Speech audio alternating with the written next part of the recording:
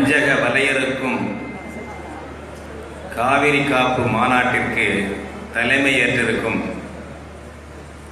தமிழர் தேசிய முன்னணியின் பொதுச் செயலாளர் காவிரி உரிமை மீட்பு குழுவின் நிறுவனர்களில் ஒருவர் அன்பு சகோதரர் அயனாபுரம் ஸ்ரீ முருகேசன் அவர்களே. இங்கே உரையாற்றி அமர்ந்திருக்கும் ஆய்வாளர் பெருமக்களே காவிரி உரிமை மீட்பு குழு தலைவர்களே சான்றோர்களே கலை நிகழ்ச்சி நடத்திய நம்முடைய பெண்ணாடம் முருகன்குடி இளம் தோழர்களே இந்த கூட்டத்தில் கலந்து கொண்டு சிறப்பித்த கதிராமங்கலம் போராளிகளே பல்வேறு மாவட்டங்களிலிருந்து வெளி மாவட்டங்களிலிருந்து வந்திருக்கக்கூடிய உணர்வாளர்களே டெல்டா மாவட்டங்களைச் சேர்ந்த உழவர் பெருமக்களே உணர்வார்களே பெரியோர்களே சகோதரிகளே நண்பர்களே. காவிரி உரிமை மீட்பு குழு ஐந்து ஆண்டுகளுக்கு மேலாக தொடர்ந்து போராடி வருகிறது. மக்கள் நம்பிக்கையை பெற்றிருக்கிறது. முக்கியமான தருணங்களில் போராட்டங்கள் நடத்தி காவிரி உரிமை மறுப்பின் திசையை மாற்றி அமைந்திருக்கிறது அந்த வகையில் முக்கியமான ஒரு கட்டத்தில் இந்த மாநாடு நடந்திருக்கிறது. இங்கே பேசிய அனைவரும் தெளிவாகவும் குறிப்பாகவும் சொன்னார்கள். இந்திய விடுதலை போராட்ட காலத்தில் பாரதியார் ஒரு கவிதை பாடினார். கஞ்சி குடிப்பதற்கில்லார் அதன் காரணங்கள் இவை என்ற அறிவும் இல்லார் பஞ்சமோ பஞ்சம் என்று நிதம் பரிதவித்தே உயிர் துடிப்பார். பரிதவித்தே உயிர் துடித்து துஞ்சி மடிகின்றார் இவர் துயர் துயர்களை தீர்க்கவோ வழியில்லையே என்று சொன்னார். கஞ்சி குடிப்பதற்கில்லார் அதன் காரணங்கள் இவை என்று அறிவுமில்லார் என்று அந்த காலத்திலே அவர் சொன்னார். காவிரி சிக்கல். என்ன சிக்கல் அது? தண்ணீர் சிக்கலா? வேற எதுவும் இருக்கிறதா? என்றெல்லாம் ஆய்வு செய்ய வேண்டிய அவசியம் இல்லாமல் நம்முடைய பேச்சாளர்கள் உரையாளர்கள் அனைவருமே சொன்னார்கள் இந்த காவேரி சிக்கல் என்பது தண்ணீர் சிக்கல் அல்ல. இது ஒரு இன சிக்கலாக இருக்கிறது. இந்திய அரசு இன பாகுபாடு பார்க்கிறது.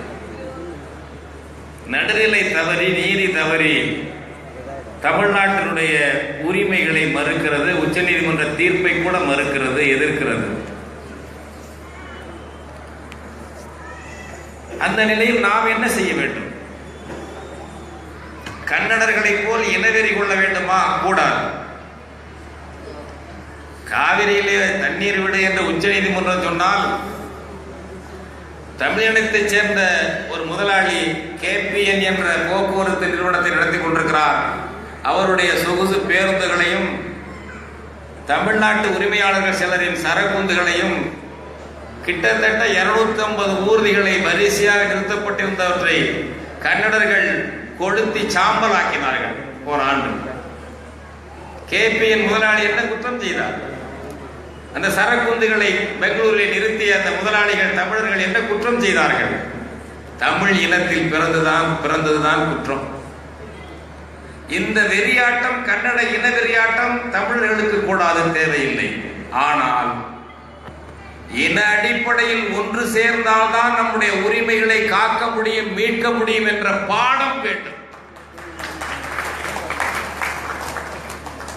கன்னடனிடமிருந்து காவிரி நீரை பெற படாத பாடுபடுகிறோம். இந்த பாடத்தையாவது முதலில் பெறுவோம். அங்கே ஆழ்வது காங்கிரஸ் இந்திய தேசியத்தின் ஒட்டுமொத்த குத்தகை எங்களுக்கானது என்று சொல்லக்கூடிய கட்சி. இல்லை இல்லை அதையெல்லாம் விட எஞ்சிய தீவிரமான காஷ்மீரில் இருந்து கன்னியாகுமரி வரை ஒரே இனம் ஒரே மதம் என்று சொல்லுகின்றவர்கள் நாங்கள் என்கின்ற பாரதிய ஜனதா எதிர்கட்சி மற்ற கட்சிகள் எல்லாம் இந்திய தேசிய கட்சிகள். ஒரே முனையில் பெரிய மக்கள் செல்வாக்கு இல்லாத வாட்டாள் நாகராஜ் கிழித்த கோட்டை தாண்ட இருக்கிறார்கள். கன்னட இனவெறியோடு செயல்படுகிறார்கள். அண்மையில் நண்பர் ஒருவர் கர்நாடகத்துக்கு போய் அந்த கன்னட ரட்சண வேதிகை என்ற அமைப்பினுடைய தலைவர் நாராயண குருவ நாராயணன் வரும் நாராயண ராவ் இது வரும். அவரை சந்தித்திருக்கிறார். எங்கள் மண்ணில் இதுதான்.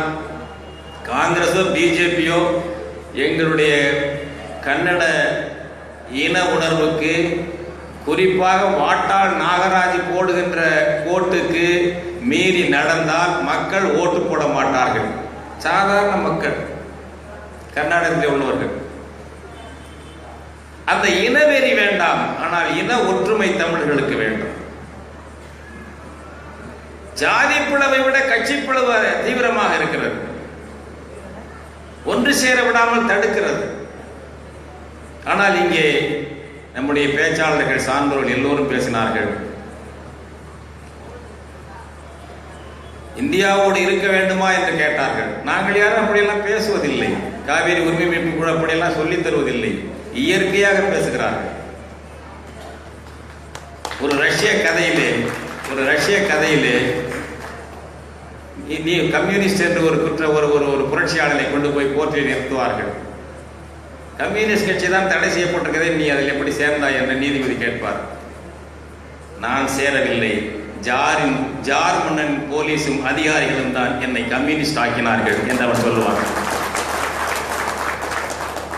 அந்த தலைப்பில் மலையாளத்தில் ஒரு திரைப்படம் வந்தது. நீங்கள் என்னை கம்யூனிஸ்ட் ஆக்கினீர்கள் என்று. இங்கே இருக்கின்ற பேச்சாளர்கள் இங்கே வராதவர்கள் எல்லாரையும் இந்திய ஏகாதிபத்தியமே ஓரவஞ்சனை செய்யும் இந்திய ஏகாதிபத்தியமே நீதான் தமிழ் தேசியவாதிகளாக மாற்றிக் கொண்டிருக்கிறாய். நீதான் மாற்றிக் கொண்டிருக்கிறாய். காவிரி உரிமைக்காகத்தான் இந்த கூட்டமைப்பு. அதற்கு மேல் அரசியல் நோக்கம் ஏதோ ஒரு குறிப்பிட்ட அமைப்பின் நோக்கம் இதில் இல்லை. யதார்த்தமாக எவ்வளவு நாள் தான் எவ்வளவுதான்? அதாவது குஞ்சை தூக்க பருந்து வந்தால் கோழி கூட தாக்கும் என்று கவிஞர் தனிகை செல்வன் பார்க்கிறார் தூக்கிடும் குஞ்சு காக்க கோழியும் தாக்கிடும் பருந்தை என்று பாடினார். புழுவை கூட நீ அடித்தால் திரும்ப புது புழுவும் எதிர்க்கும் என்றார். நாம் என்ன சாக்கடை கொசுக்களா என்று கேட்டார். அதை போல ஒவ்வொருவருக்கும் அந்த உணர்வு இருக்கிறது. எதற்காக மறுக்கப்படுகிறது? இந்த தீர்மானத்திலே தோழர் வெங்கட்ராமன் படித்த தீர்மானத்திலே இந்திய அரசமைப்பு சட்டம் தமிழ்நாட்டுக்கு செல்லாது. தே செல்லாது. நாங்களெல்லாம் சட்டத்தை மீறுகிறோம் மீறுகிறோம் என்கிறாயே. எங்கள் மீதெல்லாம் பல வழக்கு ஏற்கனவே இருக்கிறது. அர உச்ச நீதிமன்ற தீர்ப்பை மீறுவது யார்? இந்திய அரசமைப்பு சட்டத்தை மீறுவது யார்? மத்திய அரசு. மோடி அரசு. உனக்கு அதிகாரம் இல்லை என்று உச்சநீதிமன்றத்தில் சொல்கிறார்கள். இவர்களை இந்த மத்திய அரசே அரசிதழில் வெளியிட்ட அந்த தீர்ப்பாயம் செல்லாது நாங்கள் திருத்தி எழுதப் போகிறோம் என்கிறார்கள். பிறகு எதற்கு தீர்ப்பாயம்? நம்முடைய பொறியாளர் தெளிவாக சொன்னார். எத்தனை பேர் கவனித்தீர்கள் தெரியாது. ஆயிரத்தி தொள்ளாயிரத்தி எண்பதாம் ஆண்டு திருத்தப்பட்ட அந்த திருத்தம் கூட பொறியமைவில் மெக்கானிசம் காவேரி மேலாண்மை வாரியம் அமைக்கிறோம் ஒழுங்குமுறை குழு அமைக்கிறோம் என்றால் அதற்கு யார் யார் வேலை நேரம் என்ன எப்படி யார் யார் இருக்க வேண்டும் என்ன செயல்முறை என்றெல்லாம் இருக்கிறது இந்த தீர்ப்பாயம் சொல்கிறது அதிலே வேண்டுமானால் சில நடைமுறை தேவைகளை கருதி மாடிஃபிகேஷன்ஸ் மாற்றங்கள் செய்யலாமே தவிர ஒட்டுமொத்த தீர்ப்பை மாற்றக்கூடிய அதிகாரம் நாடாளுமன்றத்துக்கு இல்லை இருக்கிறது என்ற அந்த சட்டம் சொல்லவும் இல்லை. அதை தவறாக பய பயன்படுத்தி நாங்கள் எதை வேண்டுமானாலும் திருத்துவோம் என்று தீவிரோடு சொல்கிறாங்க ஓஎன்ஜிசிக்காரன் விளம்பரம் செய்கிறான். ஓஎன்ஜிசிக்காரன் ஒரு வீட்டில் ஒரு தாயார் குழந்தைய பள்ளிக்கூடத்துக்கு நேராச்சு வா வா வா அப்படிங்கிறாங்க. நேராச்சு நான் சீக்கிரம் சாப்பிட்டாதான் நீ என்ன சா இட்லி ஊத்தலையே. ஆமாம் ஆமாம் கேஸ் அடுப்பு. கேஸ் இருக்கான்னு பாருங்க. கேஸு கேஸு கேஸ் இருந்தால் சீக்கிரம் இட்லி ஊற்றலாம் இப்போ ஓஎன்ஜிசி இல்லைன்னா கேஸ் எப்படி வரும்னு அவன் கேட்குறான் உடனே அடுத்தது இல்ல இல்ல உங்க அப்பா வந்து இருசக்கர வண்டியில கொண்டு விட்டுவார் பள்ளிக்கூடத்துல. வா அப்படிங்கிறது அந்த அம்மா. இருசக்கர வண்டின்னா அதுக்கு பெட்ரோல் வேணும்ல. பெட்ரோல் தானே இருசக்கரம் ஓடும். அது ஓஎன்ஜிசி மண்ணை தோண்டி எடுத்தால் தானே கிடைக்கும். இது ஓஎன்ஜிசி பிரச்சாரம். நான் கேட்கிறேன் இட்லி சுடுவதற்கு கேஸ் முக்கியமா அரிசி முக்கியமா?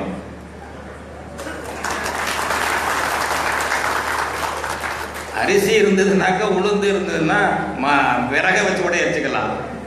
அரிசியே இல்லைன்னா?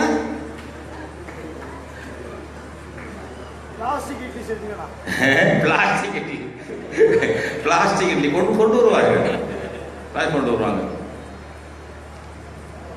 அதுபோல ஒவ்வொன்றுக்கும் பையன் குளிக்க போகணுங்கிறான். சீக்கிரம் குளிக்கணும் குளிக்கணுங்கிறது அம்மா தாய் குளிச்சுட்டு வா. இட்லி ஊற்றி சாப்பிட்றேன் போகிறேன் இந்த உரையாடல். குளிக்கிற அளவுக்கு தண்ணி இருந்தால் தானே குளிப்பான் அவன் கதிராமங்கலம் தண்ணியில் குளிக்கவே முடியாது. நிலத்தடி நீர் இல்லை சமைக்க முடியாது. அப்படி சீரழிக்கிறது. மோடி வந்து வளர்ச்சி வளர்ச்சி என்கிறார். நெல் விளைவது வளர்ச்சி இல்லையா? கரும்பு விளைவது வளர்ச்சி இல்லையா? வாழை விளைவது வளர்ச்சி இல்லையா? தேங்காய் விளைவது வளர்ச்சி இல்லையா? பூக்கள் விளைவது வளர்ச்சி இல்லையா? இத்தனையும் விளைகின்ற ஊர்கள் தான் நெடுவாசல் கதிராமங்கலம் போன்ற பலமான கிராமங்கள். நம்முடைய டெல்டா மாவட்டத்தின் பல கிராமங்கள் இப்படித்தான். இவை அனைத்தையும் பாழாக்கிவிட்டு இந்த வளர்ச்சியெல்லாம் சீரழித்து விட்டு என் தோழர் ஜெயசங்கர் பேசும்போது சொன்னார் நெல் விளைச்சல் எப்படி பாதிக்கப்பட்டிருக்கிறது என்று இது வளர்ச்சி பாதிப்பு இல்லையா? ஏகபோக முதலாளிகளுடைய பன்னாட்டு முதலாளிகளுடைய எந்திரங்கள் வளர்ச்சி தான் வளர்ச்சி. அவருடைய கொள்ளை லாப வளர்ச்சி தான் வளர்ச்சி என்பது மத்திய அரசின் கொள்கை திட்டம். பொறியாளர் திருநாவுக்கரசு அதைத்தான் சுட்டிக்காட்டினார். அமெரிக்காவின் பார்முலா அது. அதுதான் வளர்ச்சி. இப்பொழுது கதிராமங்கலத்தில் போராட்டம் நடக்கும் பொழுதே நூத்தி பத்து ஆழ்துளாய் குழாய் ஆழ்துளாய் ஆழ்குழாய் கிணறுகள் பெட்ரோலியத்திற்காக கேஸுக்காக இந்த சோழ மண்டலத்திலும் ராமநாதபுரம் பகுதியிலும் போட வேண்டும் என்று ஒரு திட்டத்தை கொடுத்து அதற்கு ஒப்புதல் வழங்கியிருக்கிறார்கள். போராட்டம் தீவிரமாக நெடுவாசலிலும் கதிராமங்கலத்தில் நடக்கும்போது தான் நூத்தி பத்து ஆழ்துளை குழாய் கிணறுகள் போடுவதற்கு அனுமதி கிடைத்திருக்கிறது. எப்படி கிடைக்கிறது அடுத்ததாக இதை பற்றி பேசிக் கொண்டிருக்கும் போது நாற்பத்தஞ்சு கிராமங்களை இணைத்து petrochemical investment area region அதாவது பெட்ரோ கெமிக்கல் முதலீட்டு மண்டலம். தொழில் மண்டலம் கூட இல்லை.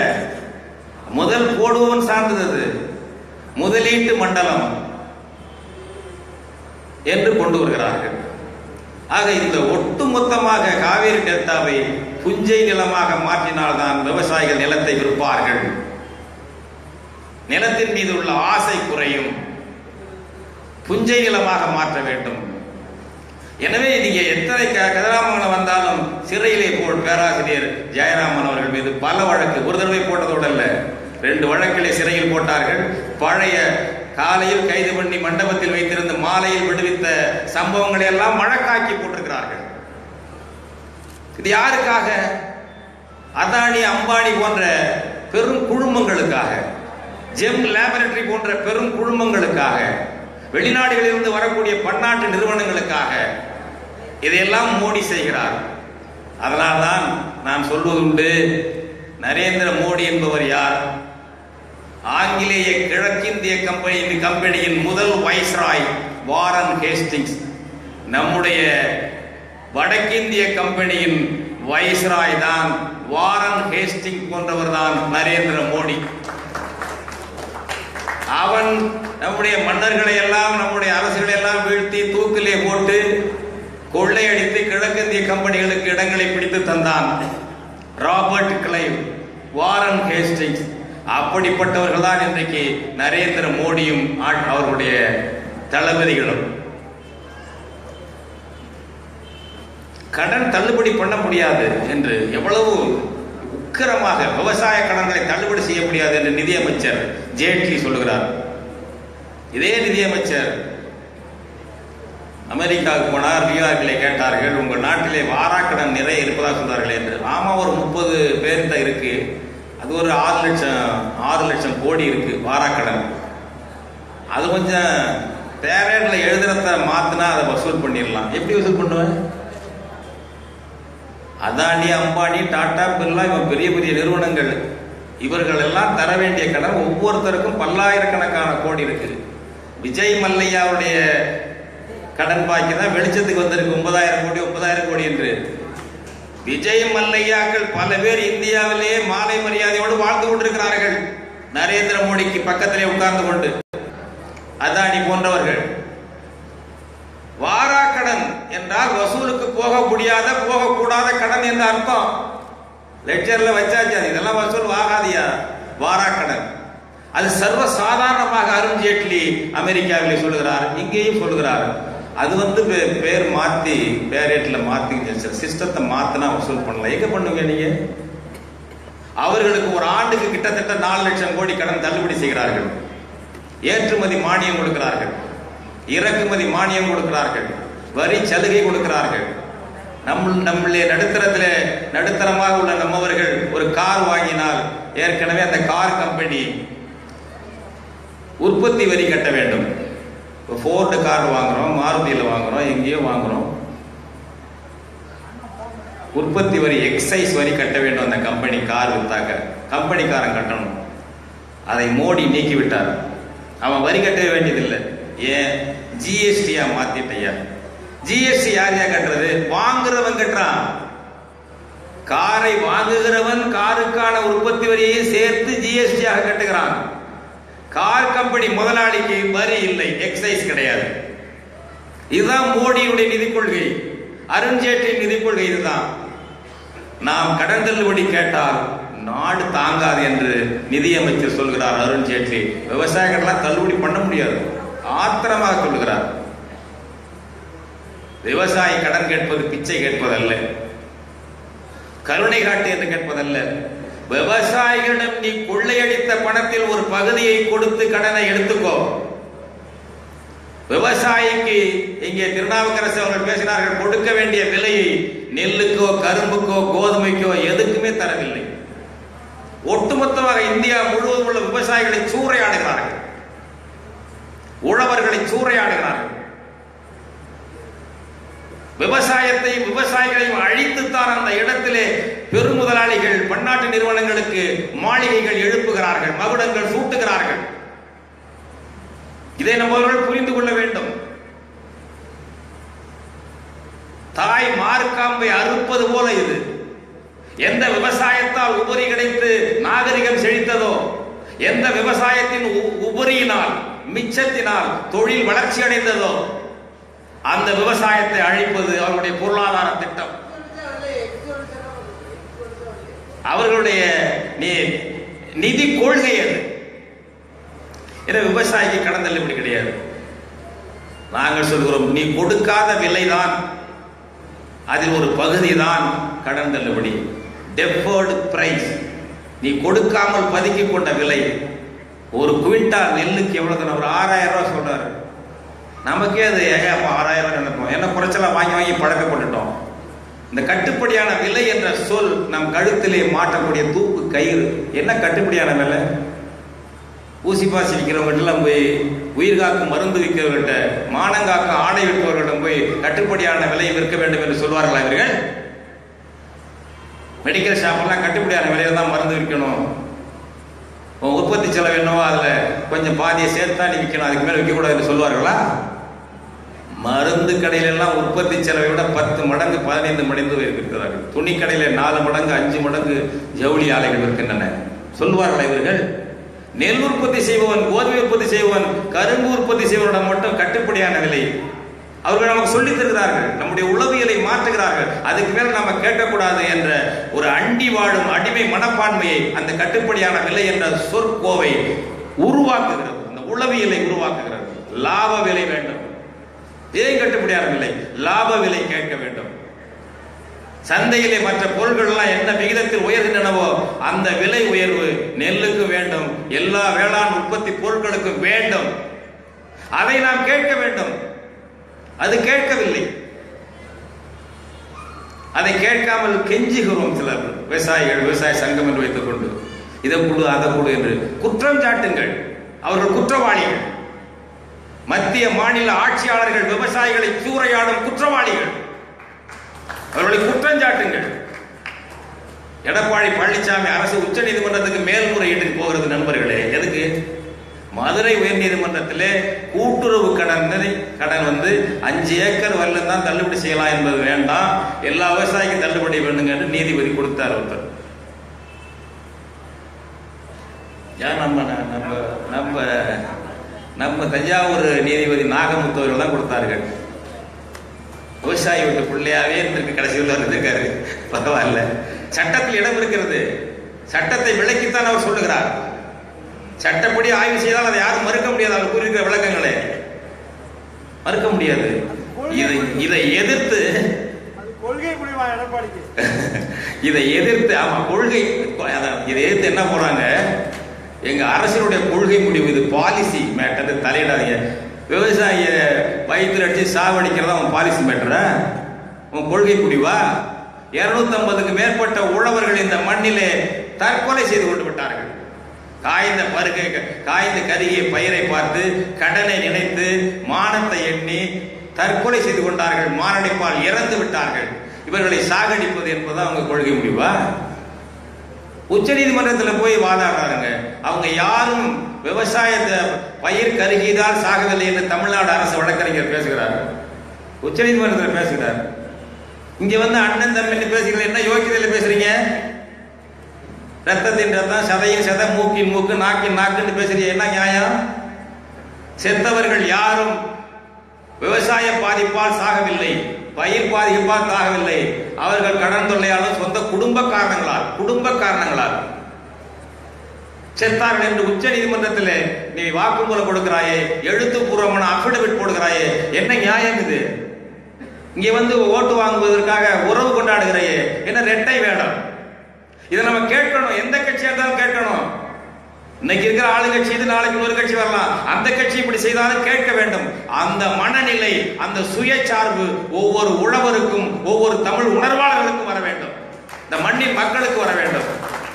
இந்த தமிழ்நாட்டு மக்களை ஏமாற்ற ஏமாற்ற முடியாது என்ற அச்சம் ஆட்சியாளர்களுக்கு வேண்டும். ஆட்சியாளர்கள் மட்டுமல்ல நீதித்துறைக்கு கூட வேண்டும்.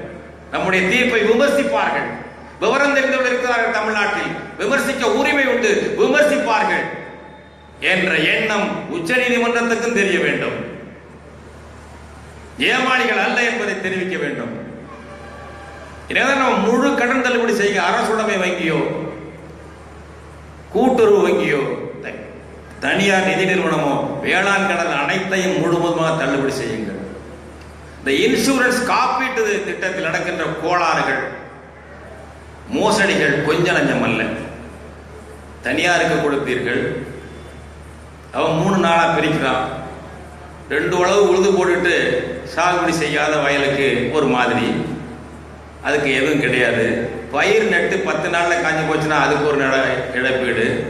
ரெண்டு மாத்தையில் கருகி போச்சுன்னா அதுக்கு ஒரு இழப்பீடு. கதிர் பறிஞ்சு அப்போ கருகி போச்சுன்னா அதுக்கு ஒரு இழப்பீடு. ஏன் இதெல்லாம்? ஒரு விவசாயி எவ்வளோ துன்பப்படுகிறான்? அந்த விவசாயத்தை செப்பனிட்டு அதை செய்வது மட்டும்தானா? அவன் குடும்பத்தை காப்பது பண்ண வேண்டாமா அவனுக்கு குடும்பம் இல்லையா? அவன் பிள்ளைகள் படிக்கவில்லையா? அந்த குழந்தைகளுக்கு மருத்துவ செலவு செய்ய வேண்டாமா? பராமரிக்க வேண்டாமா? காப்பீடு என்பது என்ன? உழுத செலவு என்ன? ஏர்மாட்டு செலவு டிராக்டர் செலவு என்ன? இது கணக்கு பார்க்க மட்டும்தான் காப்பீடா? இப்போ லைஃப் இன்சூரன்ஸ் அது மாதிரி செய்வீங்களா? எல்ஐசியில் இன்சூரன்ஸ் லைஃபுக்கு ஆயிரத்து ஆயிரத்து பண்ணால் செய்வீங்களா அது போல்? கணக்கு போட்டு இந்த கணக்கு போடுவதே தப்பு அடிப்படையில் தவறு. தரிசா கிடந்தா ஒரு ரெண்டு உழவு தானா பத்து நாளில் போச்சா இருபது நாளில் போச்சா கதிர் பறிஞ்சு போச்சா என்று வேறுபாடு பார்ப்பதே தவறு. உழவர்களுக்கு எல்லாம் ஒரு இழப்பீடு தரணும். வெறும் வயலில் செய்த வேலை மட்டுமல்ல அவர்கள் குடும்பத்தையும் பாதுகாக்க வேண்டும். அதற்குத்தான் இழப்பீடு என்பது. அதற்குத்தான் இழப்பீடு. ஒரு ஊருக்கு தர்றது ஒரு ஊருக்கு தர்றதில்லை. இப்ப சிபாரிசு செய்யற இடத்துல தர்றது சிபாரிசு இல்லாத தருவதில்லை. அவங்களும் சாலை மறியல் பண்ணுகிறார்கள். என்ன நேர்மையாக ஆட்சி நடத்துகிறீர்கள்? மக்கள் மீது அக்கறை இருந்தால் இந்த டெல்டா மாவட்டங்கள் முழுவதும் பாழாகி போச்சு. தமிழ்நாடே இந்த ஆண்டு பருவமழை பொய்த்து போய் வறட்சியாகிவிட்டது முழுமையாக அனைவருக்கும் கடன் தள்ளுபடியும் வேண்டும். இன்சூரன்ஸ் திட்டத்தை நீங்களே பிரீமியம் செலுத்தி கட்டி இருக்க வேண்டும். ஒரு மக்கள் நல அரசாக இருந்தால் வெல்ஃபேர் ஸ்டேட் என்கிறார்களே. அப்படி ஒரு மக்கள் நல அரசாக இருந்தால் பிரீமியம் கட்டாதவர்கள் கூட நீங்கள் கட்டி அவர்களுக்கு இழப்பீடு வாங்கி தந்திருக்க வேண்டும். நஞ்சையோ புஞ்சையோ அனைவருக்கும் தந்திருக்க வேண்டும். மாவட்ட ஆட்சியர் இதில் தலையிட்டு எங்கே தவறு நடக்கிறது என்று அரசுக்கு பரிந்துரை செய்ய வேண்டும். தஞ்சை மாவட்ட ஆட்சியர் ஒவ்வொரு மாவட்ட ஆட்சியரும் இது என்ன நடக்கிறது என்ன கோளாறு ஏன் தினம் ஒரு போராட்டம் தினம் ஒரு சாலை மறியல் காப்பீட்டு தொகை இன்சூரன்ஸ் தொகை வேளாண் காப்பீட்டு தொகை கிடைக்கவில்லை என்று ஏன் வைதிக்கு வருகிறார்கள்? சாலையை மறிக்கிறார்கள் விவசாயிகள். எங்கே கோளாறு என்று கண்டறிந்து அந்த குறைகளை நீக்கி அனைவருக்கும் காப்பீட்டு தொகை கிடைக்க செய்ய வேண்டும். இவை எல்லாமே உழவர்கள் ஏற்கனவே உழைத்து கொடுத்ததனுடைய சில பகுதி தான் அவர்கள் வேளாண்மை செய்த அத்தனை பொருள்களையும் இழப்பீட்டுக்குத்தான் இழப்பில் தான் விற்றிருக்கிறார்கள். நஷ்டத்தில் தான் விற்றிருக்கிறார்கள் அவர்களுடைய பொருளாதாரம் சூறையாடப்பட்டிருக்கிறது. எனவே நீங்க உரிமையோடு கேட்க வேண்டும். கெஞ்சி கேட்கக்கூடாது அஞ்சி கேட்கக்கூடாது நெஞ்சை நிமிர்த்தி கேட்க வேண்டும். அப்படிப்பட்ட ஒரு உணர்வை ஊட்ட வேண்டும். வீட்டுக்குள்ளேயே பொறுமை கொண்டிருக்க கூடாது இவற்றை சொல்லிக்கொண்டே இருக்கக்கூடாது. எனவேதான் காவேரி உரிமை மீட்பு குழு இந்த தருணத்தில் இந்த மாநாடு கொண்டிருப்பது உச்சநீதிமன்ற வழக்கில் பாதகம் வருமோ என்ற கவலையும் பதட்டமும் இருக்கிறது. இதனால் மத்திய அரசு ஓர வஞ்சனையாக பகிரங்கமாக இந்த தீர் தீர்ப்பாயத்தை காலி செய்யும் வகையிலே அதில் பன்னெண்டு சந்தேகம் இருக்குது பல குழப்பம் இருக்குது நீக்க வேண்டிய பகுதி இருக்கிறது என்றெல்லாம் சொல்லிவிட்டது. என்ன செய்வார்கள்? உச்சநீதிமன்ற நீதிபதிகள் என்ன? வசதியாக போச்சு. கர்நாடகம் வல்லடி வழக்கு பேசுகிறது. இங்கே நம்முடைய டாக்டர் பாரதி நினைக்கிறேன் நிலத்தடி நீர் இவ்வளோ அந்த நீர் இந்த நீர் என்னெல்லாம் கணக்கு பண்ணி நூறு நூற்றி ரெண்டு அடிக்கு மேல் தர முடியாதுன்னு ஃபாலி நாரிமன் சொல்றாரு. கர்நாடக வக்கீல். அதையும் அவர் என்ன சொல்றாரு என்றால் மாதா மாதம் தர முடியாது. ஆண்டுக்கு ஒரு தடவை. ஆண்டுக்கு ஒரு தடவை எப்படி தருவாரு? வெள்ளம் வந்தா கூட நான் சொல்றேன் நூத்தி ரெண்டு டிஎம்சி அவன் சொல்ற நூத்தி ரெண்டு டிஎம்சி வருமா? ஆண்டுக்கு ஒரு தடவை தர தான் தர முடியும்னு நாரிமன் பேசுறார். நம்ம வக்கீல் நாப்தே நல்லா கேட்டார் சொன்னார் அந்த சேனல்ல. இப்போ தான் பூனைக்குட்டி வெளியே வந்திருக்கு அப்படின்னு சொன்னார். என்னன்னா தண்ணி இல்லைங்கிறது அதுக்கு அர்த்தம். தமிழ்நாட்டுக்கு தண்ணீர் இல்லை. நூத் அவங்களுடைய நாலு அணையுடைய மொத்த கொள்ளளவு நூத்தி பதினாலு டிஎம்சிங்க. நாலு. கேஆர் சாகர் ஹேமாவதி கபினி கேரங்கி நாலுடைய கொள்ளளவு நூத்தி பதினாலு டிஎம்சி. நூத்தி ரெண்டு டிஎம்சியை ஒரே நேரத்தில் நீ எப்படி தருவேன் ஒரு மாத்திர. எங்கே இருந்து இல்லை என்று சொல்வதுதான் அது நீ புரிந்து கொள்ள வேண்டும். ரீடிங் பிட்வீன் தி லைன்ஸ் என்பார்கள். வரிகளுக்கு இடையே உள்ள மறைக்கப்பட்ட கருத்தை படித்து புரிந்து கொள்வது அந்த அறிவாற்றல் நமக்கு வேண்டும். நான் வருடத்துக்கு ஆண்டுக்கு ஒரு தடவை தான் தண்ணி தருவேன். மாதா மாதம் தர முடியாது தீர்ப்பாயம் சொல்வது போல. வார வாரம் தர முடியாது என்று பாலி நாரிமன் பேசுகிறார். அதன் பொருள் தருவாய் நீ. ஏது உனக்கு நூத்தி ரெண்டு டிஎம்சிகளுக்கு தருவதற்கு சேமிப்பு இருக்க போகிறது? எல்லாம் காலி ஆயிடும். கடைசியில எங்களிடம் தண்ணி எங்களுடைய அணைகளில் தண்ணீர் இல்லை. பெங்களூருக்கு குடிநீர் பத்தாது என்று சொல்லுவான் ஒட்டுமொத்தமாக காலி செய்வதற்கு. இதையெல்லாம் எதிர்கொள்ளக்கூடிய ஒரு அவசர உணர்வும் ஆற்றலும் அக்கறையும் தமிழ்நாடு அரசுக்கு இல்லை. இப்போ இந்த கடைசியாக அவர்களுடைய எழுத்துப்பூர்வமான ஒரு தர்க்கத்தை வாதத்தை எழு தாக்கல் செய்யணும். கர்நாடகம் கேரளம் தமிழ்நாடு பாண்டிச்சேரி எல்லாம். அதற்காக அவர்களுடைய பொதுப்பணி அமைச்சர் கர்நாடக பொதுப்பணி அமைச்சர் எம்பி பாட்டீல் டெல்லி சென்று அவருடைய கர்நாடக இல்லத்தில் பாலியல் ஆரிமன் உட்பட அந்த வழக்கறிஞர் குழுவை வரவழைத்து விவாதித்தார்கள் ரெண்டு நாள் விவாதித்தார்கள். கடுமையாக விவாதித்தார்கள். எப்படி தயார் பண்ணுவது? நமக்கு அப்படி உண்டா? நம்ம அமைச்சர் போவாரா? அதான் நமக்கு அப்படி அந்த முயற்சி உண்டா? சித்தராமையா போவார். டெல்லிக்கு போய் பாலி நாரிமனோட உட்கார்ந்து வாதங்களை பேசி எப்படி வழக்கு நடத்துன்னு சொல்லுவார். நம்மவர்கள் அப்படி உண்டா? சரி நம்மவர்களுக்கு அப்படிலாம் சொல்ல தெரியாத ஞானம் இல்லை என்றால் தெரிந்தவர்களை அழைத்து கொண்டு போகலாம் இல்லையா? இங்கே பேசினாரே பரந்தாமன் நீர்ப்பாசனத்துறையுடைய தலைமை பொறியாளராக இருந்த ஒரு அக்கு வேறு ஆணி வேற தெரியும் காவேரி விஷயத்தை. அழைச்சிட்டு போக முடியாது என்ன? அசோகன் இருக்கிற இங்கே தான் ஓய்வு பெற்று இருக்கிறார் மூத்த பொறியாளர் சங்கருடைய தலைவர் வீரப்பன் சென்னையில் இருக்கிறார். இந்த டீ இந்த இந்த குழுவெல்லாம் அழைத்து கொண்டு போய் வச்சு பேச வேண்டியதானே? எந்த அக்கறையும் கிடையாது. சரி இந்த அக்கறை இல்லை என்று நாம் அவர்களை கேட்கக்கூடிய துணிச்சல் நமக்கு இருக்கிறதா? துணிச்சல் கூட இல்லை. அந்த எண்ணம் இருக்கிறதா? நீங்க எந்த கட்சி வேணாலும் இருங்க. எடப்பாடி பழனிசாமி கட்சியா இருங்கள். நாங்க நாங்க அதை ஒன்று குறை சொல்லல மாற்றல. நீ ஒரு விவசாயி நீ ஒரு தமிழச்சன் தமிழன் நீ ஒரு தமிழச்சி இந்த மண்ணின் மக்கள் நீ கேட்க வேண்டியதானே? என்னையா நீங்க பண்றீங்கன்னு உரிமையா கேட்கலாம்ல? நாங்கள் கேட்பதை விட அந்த கட்சிக்காரர்கள் கூடுதலாக கேட்கலாமே. கேட்கிறீர்களா? வெளியே வர அவர்கள் அச்சப்படுவார்கள் அல்லவா? கேள்வி கணைகளால் நம்மை துளைப்பார்கள் என்று அமைச்சர்கள் அச்சப்பட வேண்டாமா? ஏன் கேட்கவில்லை? கேட்க வேண்டும். இப்பொழுதுதான் இளைஞர்கள் சமூக வலைத்தளங்களில் பல கேள்விகளை கேட்கிறார்கள்.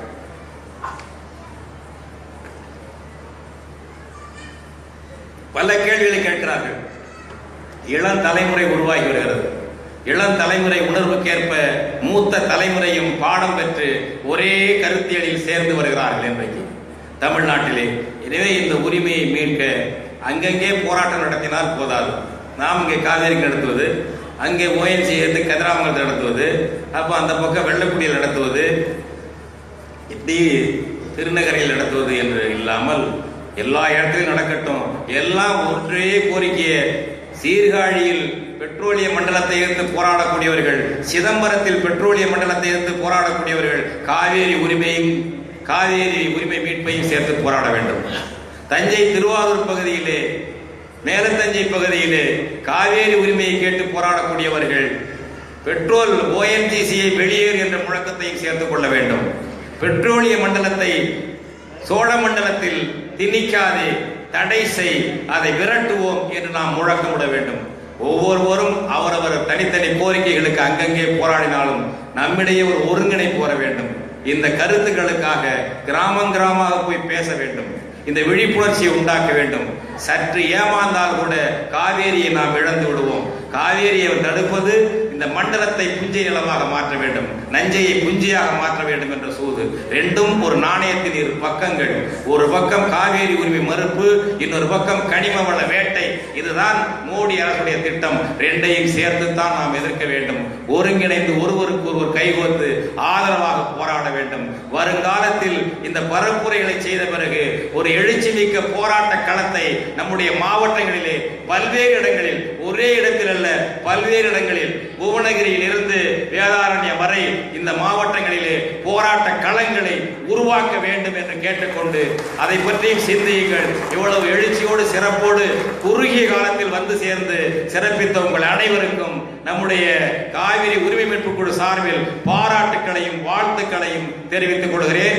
இந்த மாநாட்டிற்கு பல்வேறு வகையில் உதவிகள் அளித்த சான்றோர்கள் மண்டபம் அளித்தவர்கள் இந்த ஒலி ஒளி அமைப்புகளை உருவாக்கி தந்தவர்கள் உள்பட அனைவருக்கும் காவேரி உரிமை மீட்பு சார்பில் பாராட்டுக்களை தெரிவித்துக் கொள்கிறேன். இங்கே தப்பாட்ட கலை நிகழ்ச்சி நடத்திய தம்பிகளுக்கும் பாராட்டுக்களை தெரிவித்துக் கொண்டு மீண்டும் உங்கள் அனைவருக்கும் நன்றி கூறி விடைபெறுகிறேன். வணக்கம்.